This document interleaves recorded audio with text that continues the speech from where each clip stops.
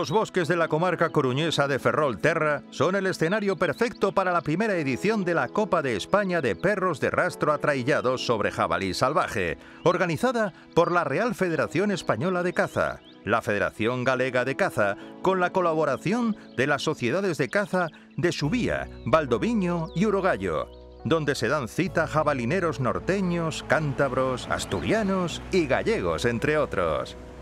La prueba está organizada para 56 monteros con sus perros de rastro, participando en siete campos diferentes donde se valorará el rastreo y el empleo de la trailla.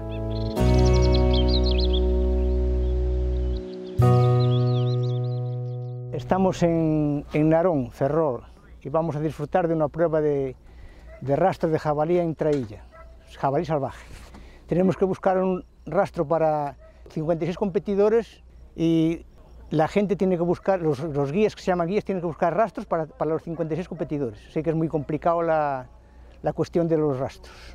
Los días antes de la competición, pues la gente, que, la gente de los cotos, aquí hay cuatro cotos que están implicados en, en la cuestión esta, y la gente de los guías de los cotos van buscando los rastros toda la semana y confirmándolos la noche anterior a la competición. Después nosotros dividimos, el día de la competición, dividimos a los competidores en, en grupos Hoy han sido de ocho en cada grupo y de cada grupo pasa un, participante a la final.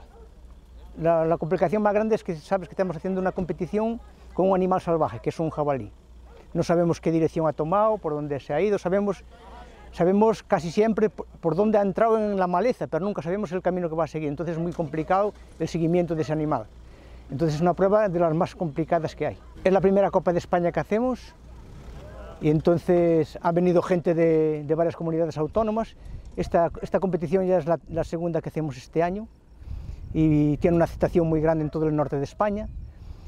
Y bueno, esperemos que con el tiempo esto se afiance y consigamos hacer un campeonato de España, no una Copa de España. Es lo que estamos intentando.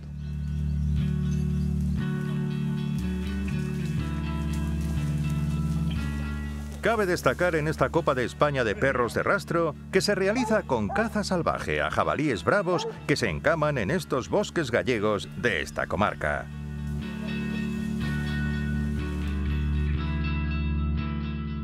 Hai xente que nos pediu, bueno, que decía por que non pasábamos dous, tedes que entender que fazer unha final deste tipo a 14 cans podémonos meter nun problema, xa non en tarde, en un problema, entonces vamos a pasar sete, vale. Hai sete campos e os tres primeiros de cada campo vamos a dar un saco de pienso. Cortesía de Masidoc, darlle as gracias a José Luis, que, bueno, xa vedes que fixo un esforzo bastante grande con, con colaborar con nós. Entonces, bueno, gracias, José Luis.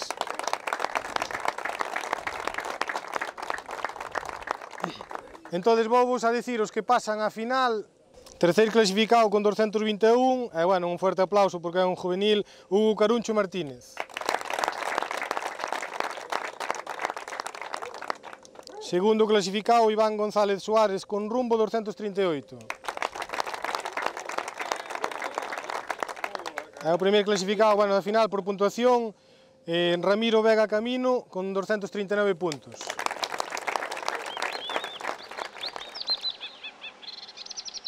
Es una prueba muy arraigada, bueno, una tradición de caza muy arraigada aquí en el norte de la península.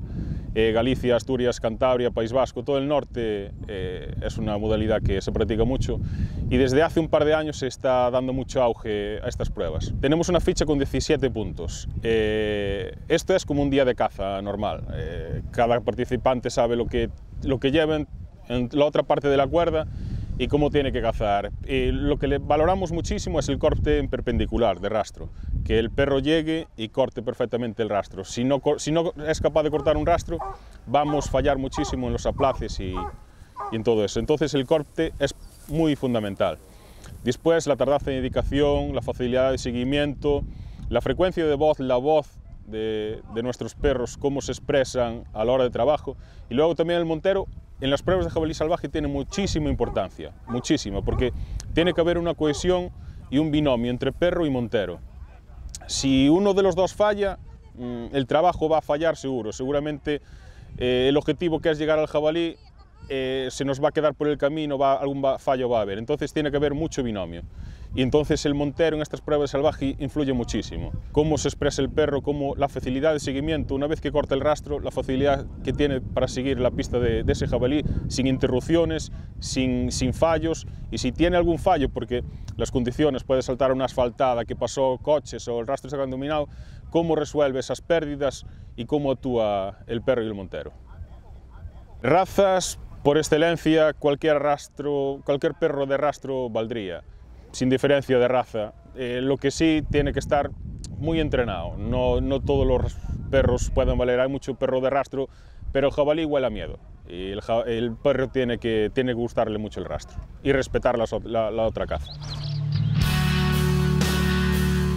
Alfonso Collazo, como juez autonómico, nos ha informado de los detalles más significativos de la prueba de perros de rastro y cuáles son las cualidades y aptitudes del binomio perro-cazador que establecen los criterios para la puntuación. Son modalidades de, caza muy diferentes a las que se practican en otras zonas de España, con el perro atraillado, sobre rastro de jabalí salvaje, que no deja de ser realmente difícil para la organización asegurar eh, una serie de rastros de jabalí salvaje, por tanto, eh, impresiona la capacidad de movilización que se tiene, de, colaboración de muchas personas para asegurar eso. O sea, aquí eh, se llevan días y días buscando, trabajando para asegurar el rastro del jabalí. ¿no? Se ve también el gran trabajo de los guías, cómo, cómo ponen el rastro, y luego el trabajo de los jueces. El trabajo de los jueces es realmente complejo. Viendo las fichas de evaluación y de, puntuación, es realmente complicado puntuar a los perros. Sobre todo es complicado seguirlos, porque el monte es muy duro, muy fuerte, eh, los jueces tienen que ir junto con el participante y el perro eh, detrás, eh, siguiendo el rastro, y lo cierto es que quiero agradecer a la Federación Gallega el que nos haya invitado a, a poder estar aquí hoy y haber podido compartir esta jornada de caza, de caza sobre, sobre, jabalí, sobre rastros de jabalí salvaje, ¿no? algo, algo muy especial. Por deferencia, bueno, a gente de Cantabria, Asturias, Castilla y León, al presidente de la Española, pues me voy a dirigir a vosotros en castellano. Vamos a dar la clasificación. Tercer clasificado, Miguel Conde Roma con Killer 249. Segundo clasificado, Jonathan Arnaiz García con MAN 250,5.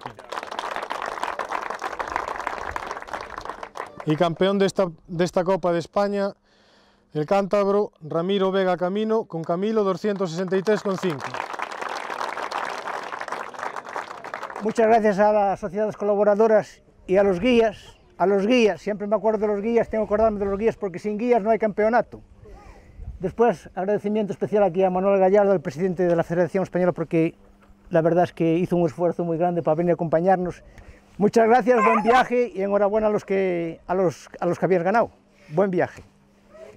Ha sido una, enorme satisfacción, yo estoy a vuestra entera disposición para aquello que, que desde la Federación Española podamos hacer por, por esta modalidad y por todas las modalidades que se practican en Galicia.